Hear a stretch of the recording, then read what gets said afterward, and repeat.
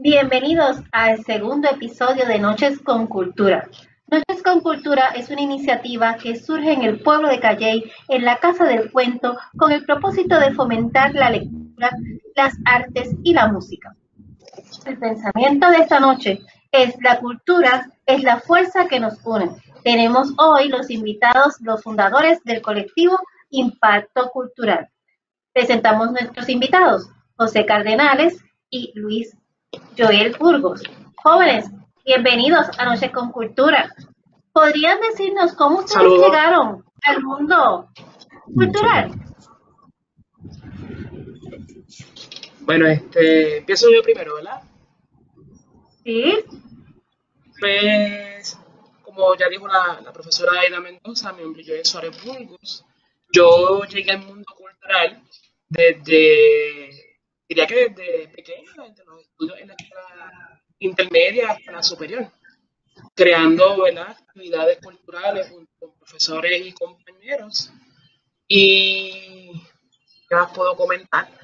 En este trayecto en la cultura, me fui desarrollando en actividades en la intermedia junto con la profesora una profesora de la escuela, ¿verdad? Que creamos gigantes y se hacían bailes y actuaciones en la escuela. Y entonces, para cuando pasó a la escuela superior, con la profesora Eda Mendoza, fuimos a la fiesta de la calle San Sebastián y ahí participamos con los vigilantes, se, se hicieron eventos avanzados entre otras cosas. Y en la noche de que fue también cocinando con la misma profesora hasta que llegamos un integrante de tres, tres artistas. Pues vamos a escuchar un poquito de la trayectoria, la trayectoria de, de, José, de José, que nos diga cómo él llegó al mundo cultural. Bien, pues buenas tardes, gracias por la oportunidad. Me gustaría entonces pues comenzar diciendo que mi, mi introducción al mundo del arte pues viene desde temprana edad. Siempre me fascinó la idea de poder estar, ¿verdad? Y tener contacto pues con la pintura, con la creación escultórica desde que fui bien pequeño. Y, eh, ¿verdad? Ya desde Head Start se podría decir que yo tenía como que esa inclinación hacia lo que era el arte. Entonces, ¿verdad? Ya cuando llego a mis grados primarios, pues me continué interesando. No es hasta la universidad que vengo a tomar clases artísticas, ¿verdad? Ya más dirigidas a lo que sería la creación pictórica y demás. Entre las aportaciones, ¿verdad? Que de muchos colegas que participé, pues podría mencionar a de Jesús, que es uno de los pintores bastante reconocidos en Albonito, estuve en unos talleres participando con él, como con Camilo Torres, que fue otro de los artistas que estuvo envuelto en ese proyecto. En la universidad, pues, ¿verdad? Para ir situándolo un poquito más específico, eh, Mirna Rocho fue una de mis profesoras y ella es la que, como quien dice, eh, me va exponiendo hacia el mundo del arte y me va dando mi primera oportunidad, ¿verdad?, de exhibir en la misma universidad. Más adelante, pues ya con, ¿verdad? conociendo unas, unas amistades y demás, pues vamos entonces incursionando un poquito más en lo que son las exhibiciones y ya como para el 2016, ¿verdad? Que vamos a estar hablando un poquito más de eso. Eh, es que fundamos entonces este colectivo y hemos entonces participado en la creación y, ¿verdad? Fomentar entonces lo que es la cultura. Antes de ir a, que nos cuenten sobre cómo fundaron el colectivo y qué es el colectivo, ustedes como jóvenes artistas, ¿podrían decirnos qué artista, ya sea puertorriqueño o ya sea a nivel internacional, los ha impactado ustedes o les sirve de inspiración?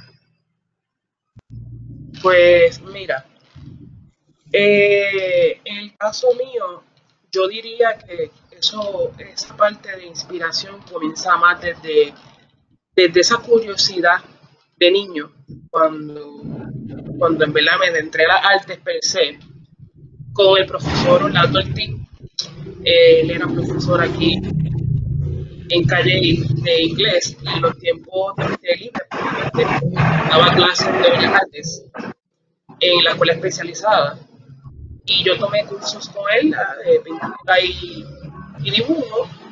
Luego, sucesivamente, eh, en la escuela elemental, intermedia y superior, tuve mis profesores y profesoras de arte hasta llegar a la universidad en arte plástica, donde tuve profesores como Elizabeth Escobar, Luis Felipe López y Roxana Riera Gata. De ellos, pues, aprendí un montón de cosas, como de Nizam lo que era el simbolismo y la parte filosófica del arte, el Felipe la parte de la técnica y el material, y de Roxana la paleta de colores, excelente colorista. Diría que ellos tres son como mis profesores preferidos. Dalisa pues, falleció, descanse. Y si hablamos ¿verdad? de Puerto Rico per se, trabajo mucho la obra de Ramón Frade y su legado, que diría que él sería como que el artista que tengo de cabecera en mi trabajo, especialmente los símbolos que le ocurren en sus trabajos históricos. Este, especialmente por la identidad, la identidad puertorriqueña que, te identificas con Frade por el trabajo de la identidad puertorriqueña. Y no sé, ¿qué nos podría contar de quién es ese artista que te inspira? Bien, pues, ¿verdad? Para entonces dar como un preámbulo, Mirna Arocho, pues, fue una de las personas que me inspiró, ¿verdad? En la creación artística, fue quien me, ¿verdad? Me, me empezó a dar este, los distintos consejos y obviamente, ¿verdad? Aprendí muchísimo en sus clases en la universidad y yo puedo considerarla a ella como uno de los artistas que más me inspira, ¿verdad? Para continuar mi creación pictórica. Eso es ya, pues, ¿verdad? Artistas con los que he tenido contacto. he tenido contacto, pues, ahora con algunos otros, ¿verdad? Como explica Joel, también conocí a, a, a Roxana Gata, eh, y he tenido contacto con otros artistas, pero eso ya ¿verdad? es un poquito más contemporáneo. Pero ya en el ambiente o en el aspecto más general, en, el arte de Puerto Rico, pues yo trabajé un tiempo, creo que desde el 2016 hasta el 2018, en el Museo de la UPR en Calley, y tuve un contacto bien directo con la obra de Ramón Frade también, que Frade entonces sería uno de los artistas que más me inspira a trabajar también los temas de la identidad cultural y, Y, y como quien dice, continuar entonces este legado. En cuanto al, arte general, ¿verdad? Ya más fuera de Puerto Rico, entre los artistas internacionales, pues me gustaría mencionar eh, a Van Gogh. Van Gogh es uno de mis artistas preferidos. ¿verdad? Y he podido entonces encontrar varias, similitudes en, cuanto a temas y, técnicas, porque, ¿verdad? No las uso comúnmente, pero sí las, eh, las veo pues con mucha ilusión y mucho, y mucho sentimiento. Empecemos ahora a conocer un poco qué es el colectivo Impacto Cultural. ¿Nos podrían decir por qué lo fundaron? ¿Y qué han hecho? ¿Qué es en sí el colectivo Impacto Cultural? Pues mira, este, Aida, el colectivo surge más bien una necesidad de tres jóvenes artistas, en aquel entonces éramos tres estudiantes, y el, el, punto principal del colectivo era fomentar la cultura y la problemática en Puerto Rico, Puerto Rico presentando temas de, índole social o, históricos. Y surge con verdad a través de una reunión, un día nos encontrábamos eh, compañeros José, María y yo en y vimos esa necesidad de, exponer nuestro trabajo artístico al público. Y ahí fue cuando nos acercamos a, a Aida que estaba presentando noches de cultura en la Casa del Canto, le llevamos la propuesta de, una exposición junto con presentaciones de libros. Y ella le pareció perfecto, nos organizamos. Y ahí fue que empezamos por primera vez en el, 2016 con los chinos en Puerto Rico. El, compañero José Cañales, ¿verdad? Si quiere compartir más de las anécdotas que hay. Bien, pues en cuanto a nuestro trabajo, ¿verdad? Hemos hecho varias exhibiciones en lo que conlleva el colectivo Impacto Cultural. Nuestra primera exhibición fue en el 2016 eh, con el tema de los chinos en Puerto Rico. Eso fue, ¿verdad?, en conjunto con la presentación del libro del profesor José Lee Borges en la del cuento en Calle, eh, donde Aida, pues, ¿verdad?, se acerca, nos invita. Ya nosotros habíamos tenido experiencia en algunas exhibiciones previamente, pero no es hasta esta que nosotros pues ya podemos ¿verdad? dedicar específicamente a cultura, ¿verdad? De, un ambiente mucho más estructurado. Luego pues pasamos a trabajar también el espiritismo en Puerto Rico, trabajamos temas como la poesía y la música a través de la abstracción, que hay, ¿verdad? Distintos poetas y distintos escritores compartieron con nosotros esa noche. Hubo también música, ¿verdad? Que entonces fuimos integrando cada una de las distintas áreas de las bellas artes para eh, fomentar nuestra cultura. Más adelante trabajamos el tema de la negritud, que también fue uno de los más, de las obras que tuvo más, fue más acogida en Calle, tanto que así la movimos más adelante a Urbe a pie en Caguas. Luego de eso, pues eh, trabajamos también el tema de los Reyes Magos. Esa la movimos de Calle a Bonito, que estuvimos entonces trabajando ¿verdad? En, esos pueblos. Y ya entonces, pues, eh, Impacto Cultural pues fue también adquiriendo otro, ¿verdad? otro ímpetu. Sí, y nos fuimos dando a conocer en Cali, pero ya saliendo a los pueblos y teniendo contacto con otras personas. entre, entre los, ¿verdad? las distintas anécdotas que me gustaría también contar, nosotros pues hicimos una exhibición también titulada La violencia en el noviazgo. Esa fue una de las exhibiciones que también tuvimos mucha vida eh, y trabajamos en temas que muchas veces no se trabajan eh, en el ámbito social. Y pues, ¿verdad? Hemos ido adquiriendo, hemos ido escalando un, peldaño.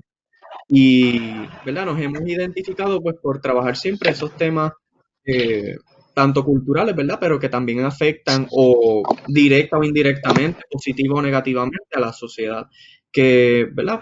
podemos decir que hemos tenido una vasta eh, representación de temas en nuestras exhibiciones. Y si fuéramos a hablar eh, de hacia dónde va, hacia dónde va el colectivo Impacto Cultural en sus metas futuras, ¿nos podrían comentar al respecto? Pues mira, el colectivo tiene muchos planes en, en agenda. Ahora mismo estamos en varios procesos para, que crezca y se, desarrolle mejor de lo que ya ha presentado en este tiempo. Entonces, este, ¿cómo te puedo explicar? Hacia dónde iría ahora, iríamos a gran escala, ahora iríamos a, a definirlo, a bordearlo mejor. ¿Verdad? Este, José, ¿qué tú crees que, más, además de moldearlo y la, más allá sería con el colectivo. Pues verdad, nosotros estamos buscando la oportunidad también de adquirir espacios alternativos donde nosotros pues podamos seguir creciendo, tanto como colectivo, eh, ¿verdad? Como, eh, pues como persona en nuestras carreras personales entre ¿verdad? distintas otras metas que nosotros tenemos, nosotros tenemos unos objetivos generales que si me dan un momentito los puedo compartir rapidito. Sí, tenemos claro tiempo. Que sí, Perfecto. Sí, estamos bien. Pues entonces, en los objetivos generales, tenemos otorgar a los artistas que se unan a nuestro ¿verdad? colectivo oportunidades para crear, expresar y reconocer su valor como ser que pertenece y aporta a la cultura de Puerto Rico. Nosotros queremos con esto, ¿verdad? Proveer espacios alternativos, como ya había mencionado anteriormente, donde se puedan llevar a cabo exhibiciones y actividades culturales, ¿verdad? Obviamente, donde se fomente lo que no somos nosotros, ¿verdad? Los puertorriqueños. Y obviamente llegar también a cuestionar lo que nosotros pues tenemos en nuestra cultura o, ¿verdad? Eh, nos llega a través de la cultura. Nosotros queremos organizar un grupo de artistas jóvenes o artistas interesados en representar, cuestionar y promover los aspectos culturales que forman nuestro sentir como pueblo. Y obviamente también queremos pues abrir las puertas hacia nuevas experiencias, oportunidades artísticas, ya que nosotros deseamos proveer a, a los artistas, ¿verdad? Una plataforma inicial donde puedan comenzar a experimentar mejor pues con sus habilidades y ¿verdad? irnos desenvolviendo en lo que es el mundo del arte ciertos grupos, ciertos lugares, pues nosotros queremos entonces darle a ustedes, ¿verdad? Y a toda persona interesada esta oportunidad donde usted pueda presentar ante un público, ¿verdad? Dejar saber sus inquietudes, dejar, eh, pues, ¿verdad? Sembrar una semillita en lo que es nuestra cultura. Gracias, José. Pasemos ahora a conocer un poco sus, sus obras que cada uno nos pueda presentar una de sus obras y nos las pueda explicar. Le pedimos a, nuestro técnico que pueda subir las, obras.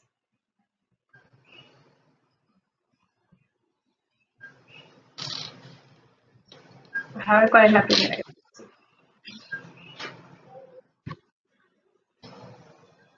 Ok. Este, esa sería la mía. Pues como ya he comentado, yo fui estudiante de la, Escuela de Arte Plástica de Puerto Rico y esta obra que se está presentando aquí, yo considero que es una de, que puedo decir, una de las mejores obras que pude realizar en aquel entonces, ya para el 2019. Esta pieza surge con la María, una interpretación moderna del siglo XXI del pan nuestro. En ella yo plasmo ese, monte, ¿verdad? Esas montañas puertorriqueñas, tal cual las pintó Frade, pero yo le doy, la defino de una manera como la de María, el daño que, que desató. Y la figura humana de un empleado puertorriqueño que se encontró con la problemática de que a laboral, pero a causa de, los estragos de María, no había energía eléctrica ni agua, pues, pues fue despedido de su, de su empleo y para que lo despiden, pues le dan para que llegue a su casa de artículos de FEMA. Y fue una obra que, además me encanta mucho en lo personal y considero que es una obra mejor en el, en el, en el aspecto que la realicé. Entonces, ¿qué va a poder decirle de, ella? Eh, eh, esta es mi preferida que nunca la he exhibido y, nunca la ¿verdad? me ha dado con, venderla o, o, hacer algo con ella. ¿Algún otro comentario o pasamos a la de José? Sí, a, pasa José. Pasamos a la segunda obra.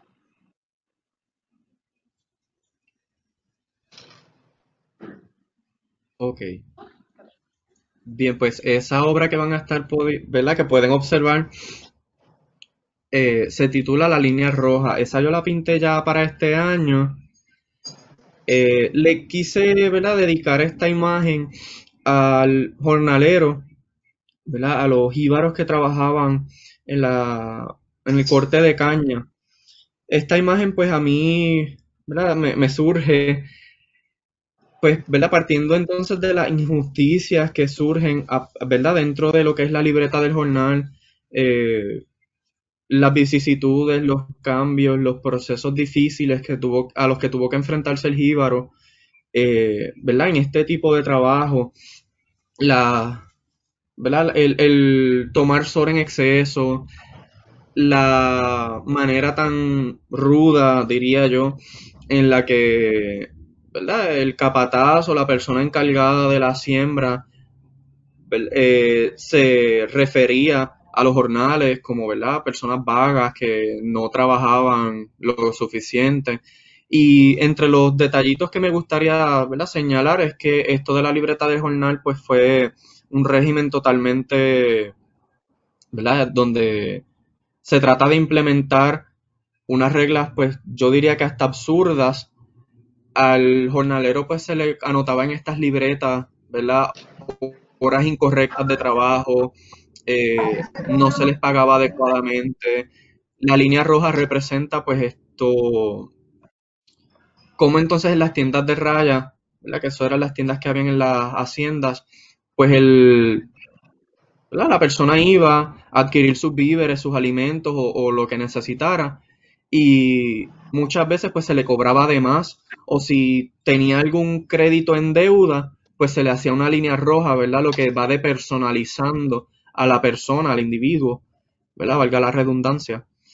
Y vemos entonces en la imagen, pues, a este jíbaro recostado de un poste de una verja, eh, como quien dice, ¿verdad? Suplicando eh, o, o, sollozando, ¿verdad? Entre qué va a suceder ahora y qué entonces me depara el destino después de aquí, ¿verdad? Porque también este, habían ceses de cortes de caña, el tiempo muerto, etcétera.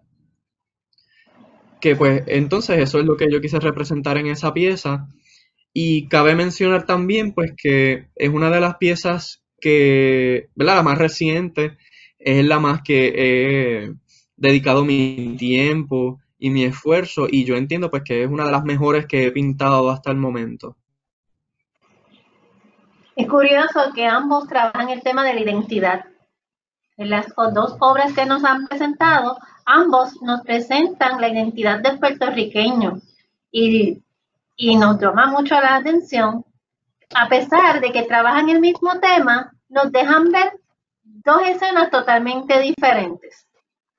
Pero si ustedes eh, nos ayudaran, ¿verdad? Que nos vamos a imaginarnos por un momento que vamos a un museo y ustedes, ¿verdad? Como estudiosos del arte, pues nos van a ayudar a aprender a trabajar con la apreciación, porque muchas veces vamos a un museo y vamos bien rápido, entramos, salimos, pero como que nos hacen falta unos elementos de qué tenemos que hacer para apreciar bien una obra de arte. Ustedes nos han seleccionado una obra en específico que quieren, ¿verdad? Pues eh, enseñarnos a nosotros y al público elementos para que nos podamos ayudar a nosotros y a otros a apreciar el arte. La importancia de observar, observar y tener un análisis crítico de una obra. Así que vamos a la próxima imagen.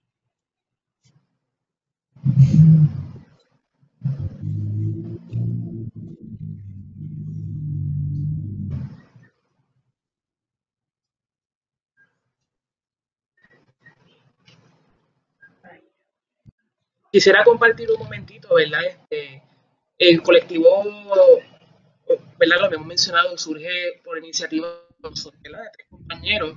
Una de las compañeras fundadoras no se encuentra, ¿verdad? Está trabajando. Su nombre es María Puri Mauraz. Y Puri es una de nuestras artistas icónicas del grupo. Y, ¿verdad? No pudimos presentar su obra, pero Puri también es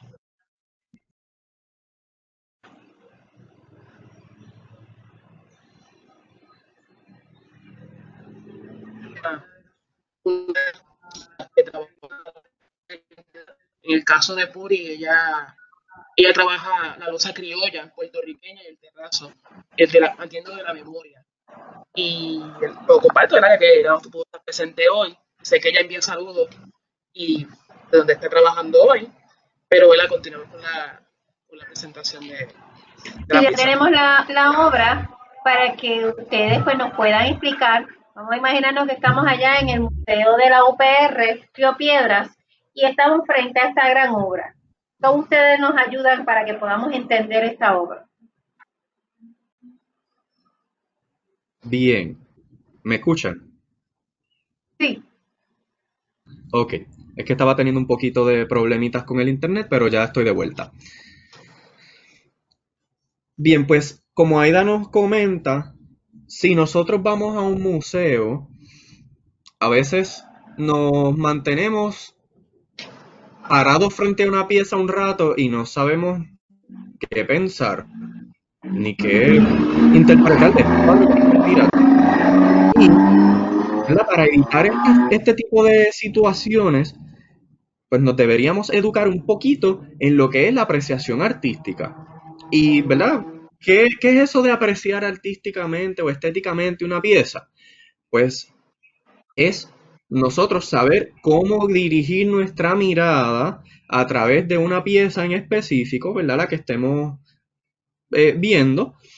Y entonces ir buscando detalles información que la misma pieza nos va dando.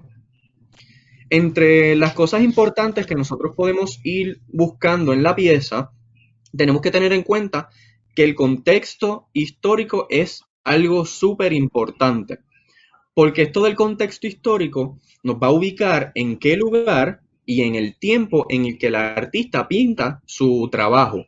Por ejemplo, ¿verdad? Aquí tenemos el velorio. Eh, más adelante Joel les va a dar un poquito más de información sobre esta pieza específicamente, pero eh, ya sabemos que esta es la pieza que nosotros vamos a estar observando. Pues si estamos observando la pieza, nosotros tenemos que dirigir nuestra mirada, ¿verdad? En forma de la letra Z.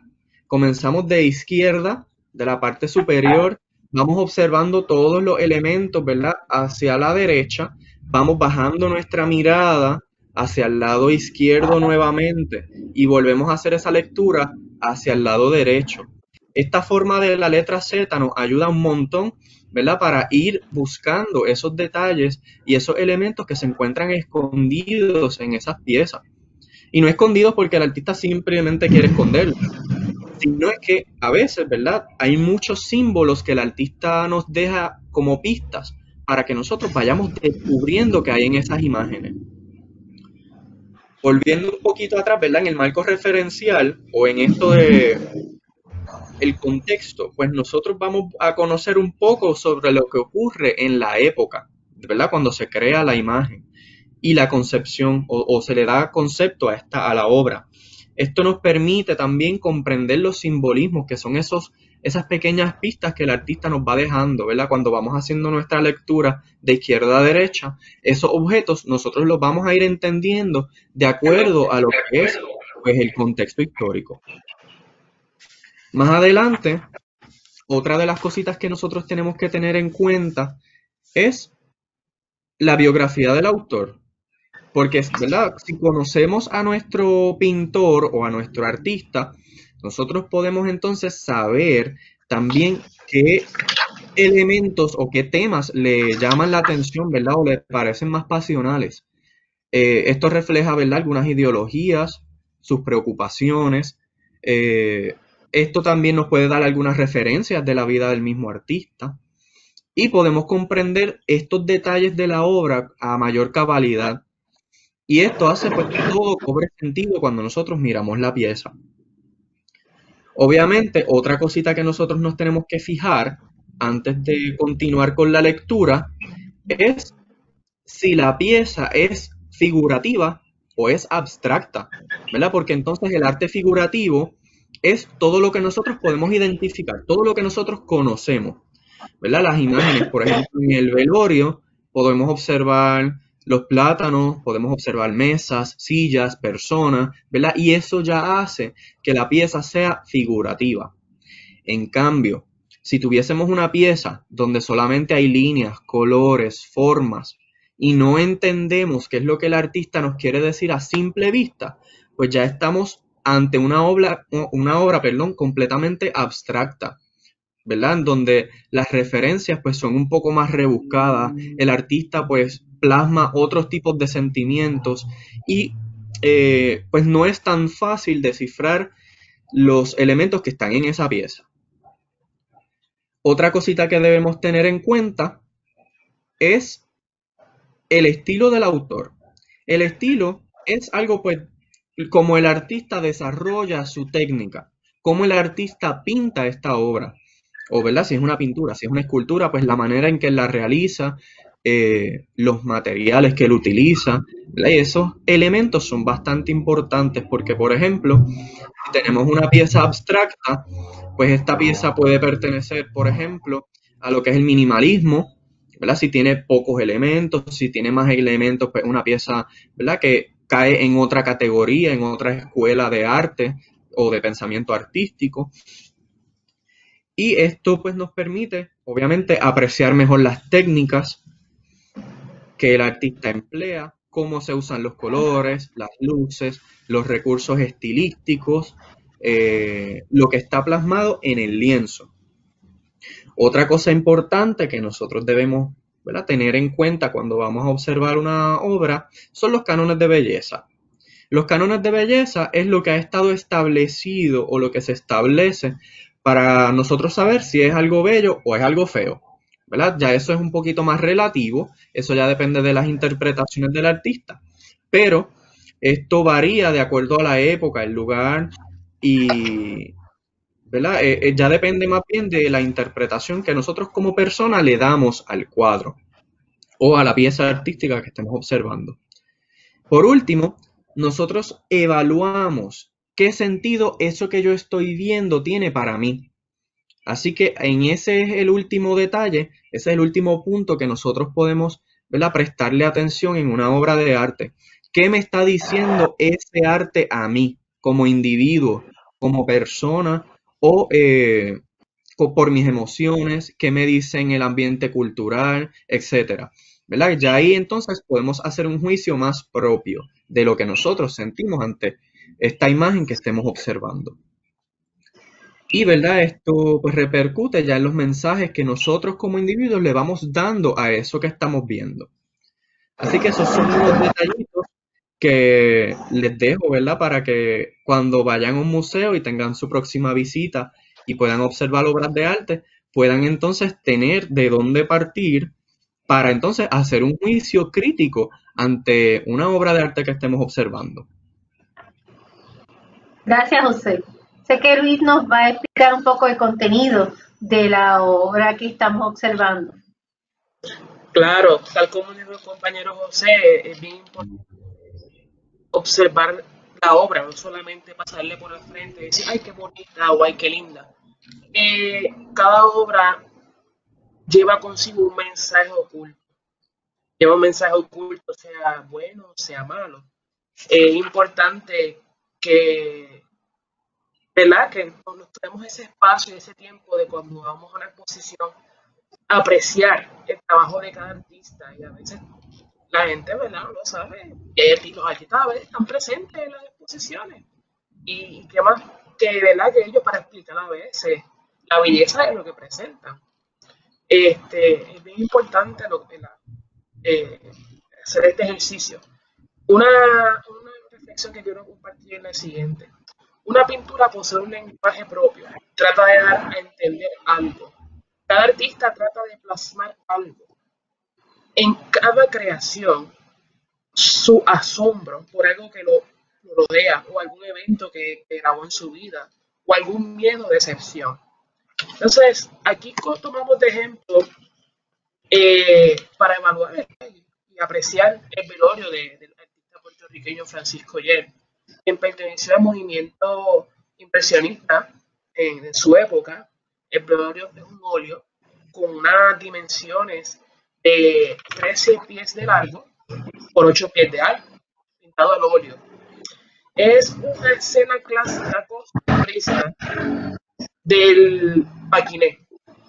Aquí podemos ver muchas cosas. Una, una imagen cargada de muchos símbolos, de, muchas formas, de, figuras humanas y sucesos, alimentos, comida, tela, madera, de todo. Este, esta pieza es un evento, es un evento tanto histórico como, como construido por el artista. En el aspecto histórico, hago referencia a que esto sucede en la hacienda Santa Bárbara de la familia El Sabero en Carolina. Y en la parte que digo compuesta por el artista o montada, es que hay ciertos elementos en la pieza que muy pocas personas percatan ¿verdad? No se dan cuenta. Están ahí. Primero que todo, esto es un funeral, un funeral de un niño que está ubicado en la, en la mesa que tiene el mantel. Tenemos al sacerdote, a la madre, a los bandos, un grupo de gente que ha bebido y está en la esquina haciendo festejos, a los amantes, dándose en otra esquina, y al esclavo, un esclavo que está con un bastón mirando al niño. Es el único personaje en la mesa que está rindiendo ese luto y ese respeto a, a el que yace ahí. La mamá de, del niño es la que está ubicada a la derecha de la pieza con una especie de, de pañuelo en la cabeza cerca del cura, el sacerdote. Es importante observar esta pieza porque estamos hablando de que la mamá era empleada de una hacienda y la propiedad se encuentra en una especie de bullido donde la mamá residía con la familia. Y tiene ciertos elementos que muchos artistas, como la, la artista diseñadora Lidia Toledo, ¿verdad? No, no mencioné muchas veces. La silla que está a mano derecha, una silla eh, que para aquella época, un estilo de silla que, que sorprende verlo en ese estado, imagino una casa de, una persona que, se entiende por, el aspecto de pobre. No todo el mundo tenía el dinero para esa silla.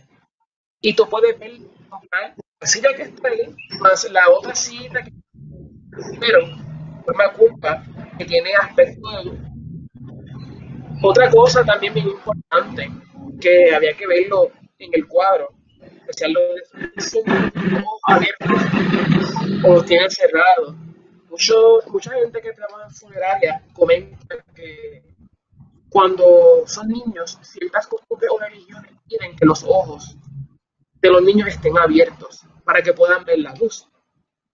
Y por la inocencia que tiene el niño, ¿verdad? También este, se puede apreciar los guineos, los guineos verdes que están colgando en el techo de la casa, algo que, que mismo José Delgado comenta en un libro que, que el racimo de plátano, el jíbaro puertorriqueño lo, lo colocaba tal como lo colgaba en la mata. Pero Oyer lo coloca así, dejándonos saber que la, escena no es correcta, que no hay orden ni equilibrio. En el caso de la silla, ¿verdad? Volviendo a la silla, y la forma que José comentó sobre cómo apreciar la torre de Z, el recorrido corre desde la puerta principal de la propiedad, desde ahí pasa a la esquina derecha, baja hacia la persona que está paseando el niño en el centro, y ahí llega hacia el, el perro que está jugando con el niño en un reguero, en esa esquina, y de ahí a la silla. La pregunta es, ¿por qué la silla está vacía? Eh, el mismo Jerry y Osiris comentan que la silla es más para el espectador, para nosotros que estamos viendo la pieza. Es invitándonos a apreciar lo que está sucediendo ahí. Un ejemplo de esto puede ser la señorita de Aviñón, de de Picasso, donde están todas con posturas sexuales mirando hacia un espectador. Y es que la pieza te está invitando a, a ser parte de ella, que seas crítico de ella. Por eso es que la presentamos de ejemplo, ya que es una cosa que te invita a apreciar, eres parte de la. Eh, la, la, parte simbólica que puedo compartir de la, de la, de la obra esa. Entonces, ¿qué más puedo comentarle? Esta, la intención de esta obra es más de costumbre, comunicar aquella costumbre de, de, la, de lo que es el maquine puertorriqueño. Es la costumbre exagerada. No se sabe con certeza si la pieza al igual que la de Ramón Frade, no se sabe con certeza si son pintadas en el momento o son recreaciones del artista por varios bocetos o varios estudios. Eso lo demuestra la silla. O sea, ningún íbaro tenía el capital para tener esa silla. O, o la forma exagerada. Lo importante cuando uno aprecia una obra, ciertos símbolos y ciertas imágenes que te ayudan a identificar la época, el momento, el suceso, el estatus y las personas que, se encuentran. El velorio de Francisco ya lo pueden apreciar y ahí pueden encontrar este, una espectacular obra enorme, sea, casi tamaño escala cada personaje y es tan bella y cargada de, de, simbolismo y de apreciación que mientras más la miras puedes encontrar en ella. Eso de lado pues, que podría compartir aquí. No sé si la, si profesora Aida Mendoza quiere añadir algo sobre la, sobre Excelente, excelente los consejos que nos han dado. Por si vamos a una exhibición, que no hagamos una vuelta y no nos paremos y tengamos, ¿verdad? Esa detenernos y hacer esas miradas. Tal vez cuando regresemos a nuestras casas, pues ir con preguntas y seguir nosotros interrogando sobre las obras que vemos. Así que el arte eh, es realmente un unos calma. No sé si ustedes estén de acuerdo conmigo, pero el arte, cuando uno lo aprecia, uno está como más calmado. Tanto dicen los que practican en toda la pintura, de que cuando están pintando sienten una sensación de calma. No sé si a ustedes les ha pasado eso. Que tienen sus emociones altas y cuando están, toman ese lienzo, como que su emoción y su actitud cambia totalmente. Sí, yo podría confirmar. eh, ¿Verdad? Es bien importante también que cuando nosotros hacemos una lectura artística, ¿verdad? De una, de una obra de arte, eh, ese proceso de nosotros ir observando cada detalle, ir, eh, ¿verdad? Apreciando cada uno de esos simbolismos o, ¿verdad? De, esos elementos que están plasmados en una obra, eh, nuestro cerebro entra en un estado crítico automático ¿verdad? Y nosotros vamos a empezar a hacernos preguntas involuntariamente, pero ¿y por qué eso es de ese color y no de este? ¿Por qué eso tiene tal forma y no la otra? ¿Verdad? Entonces nuestra mente se sigue trabajando, buscando información. Y es preciso lo que Aida nos comenta también, de que, ¿verdad? Observamos una obra de arte y a veces nos quedamos con esa obra pegada en la mente y llegamos a nuestra casa y decimos, mano, pero es que ese cuadro me llamó tanto la atención, esa escultura me llamó tanto la atención. Y es en ese momento, ¿verdad? Que todavía tenemos esa impresión eh, de la obra de arte como tal, donde nosotros debemos sentarnos a buscar más información, a conocer más el artista, ¿verdad? Por eso también en, en las exhibiciones de arte nos dan los brochures, para que nosotros hagamos este ejercicio, luego de haber visto o participado en una exhibición artística para que nosotros también vayamos teniendo un provecho, ¿verdad? De, eh, ir conociendo culturalmente, ¿verdad? Ampliando nuestros parámetros culturales, eh, ¿verdad? E interactuar con el artista de una manera más pasiva, ¿verdad? Porque estamos buscando nosotros ya la información en nuestra casa, eh, ¿verdad? En nuestro tiempo libre. Pero eso nos da también la oportunidad, ¿verdad? De, ensimismarnos un poquito, pensar más en nosotros y qué yo puedo aportar, ¿verdad? Eh, ante lo que el artista me está diciendo. ¿Qué yo puedo añadirle a lo que el artista me enseñó? ahí es donde nosotros interactuamos de manera directa y precisa con lo que es la obra. Que así que, Aida, estoy muy de acuerdo con lo que nos comentas. Claro, y Aida, tiene mucha razón. Y además hay que, hay que añadir, ¿verdad? Que es bien importante que cuando uno vaya a apreciar una obra, es importante criticar. Es muy importante criticar, no es ir, ay, qué bonito, ay, qué feo. Es, argumentar sobre ella. La obra tiene un propósito, no solamente decorativo, porque mucha gente lo adjudica, voy a poner este cuadro aquí porque es bello y es bonito, para decorar. No es importante criticar la pieza, porque de ahí es que nace el trabajo del artista, de, de la crítica, del suceso es lo que también ayuda al artista a crecer y a desarrollarse en el campo. Y este, lo que dice la, compañera Ida Mendoza y compañero es sumamente importante a la hora de apreciar una obra. Bien, pues ya estamos finalizando este segundo episodio de Noches con Cultura. Le damos las gracias a nuestros invitados de esta noche. Esperamos que no sea la, ni la primera y la última, sino que sea muchas veces que está abierto este espacio los segundos viernes de cada mes, que puedan compartir con nosotros. Y no queremos terminar antes sin agradecer a la plataforma del periódico El Pozo Antillano por dejarnos este espacio y poder compartir y seguir con Noches con Cultura, que empezaron desde Calle, pero ahora estamos de forma virtual.